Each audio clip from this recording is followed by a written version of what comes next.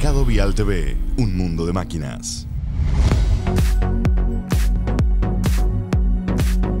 Hello, my name is Peter Siebold. I'm product manager at Hyundai Construction Equipment. We're here at Bauma 2022 in Munich and behind me you see a wonderful, beautiful car and you may be wondering why does Hyundai showcase a passenger car at the construction fair? The answer is pretty simple because this is showcasing some new technology, namely hydrogen fuel cell technology. So this is a hydrogen car developed and designed by Hyundai Motor Group. It's already available to buy. And in fact, we are using exactly the same technology in our next generation construction machines. At this year's Bauma, we're facing on several key topics, one of them being new technologies, then safety, and last but not least, sustainability. So in terms of sustainability, we are showcasing an electric mini excavator here that is actually to claim our stake that we are going to take a role in that new market segment of electric vehicles. But the real highlight of the show this year is our hydrogen fuel cell excavator, which you can see right here behind me. It may become more clearer why we have the Hyundai car here at the booth, because there is actual the link. It's the same fuel cell technology that is in the car we are also using in the excavator here. The biggest advantage of hydrogen versus electric is clear because electrical vehicles, they need charging time and then they have a certain autonomy which today is still limited. However, the uh, hydrogen machine you do not need no charging. You do refuel the machine and that's done about 10 minutes time, same as your car. And the autonomy of the machine is more than eight hours.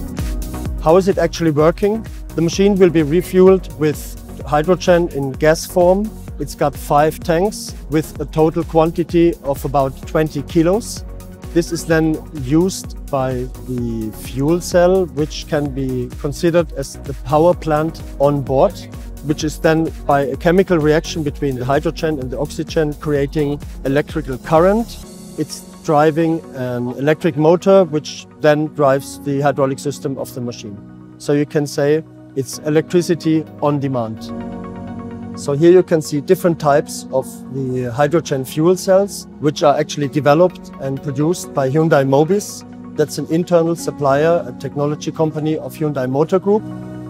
The bigger fuel cell here with 50 kilowatts, this is actually the one that is used in the car, Nexo hydrogen car, as well as in our excavator. However, we boosted the uh, energy additionally because we still have to drive a fuel package because through the chemical reaction there is heat being developed which we need cooling down. So therefore we come to 70 or a maximum of 95 kilowatts for the excavator. These fuel cells are not prototypes, that's actually existing technology today available also from Hyundai Mobis. And the best thing of it all, what comes out of the exhaust pipe, it's water, pure water.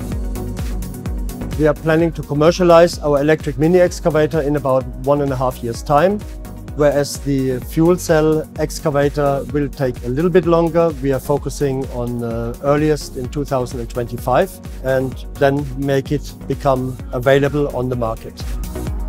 Let me say thank you to everybody and we are happy to be here at Hyundai and um, let me close with our slogan of this year's booth which is think further, think future.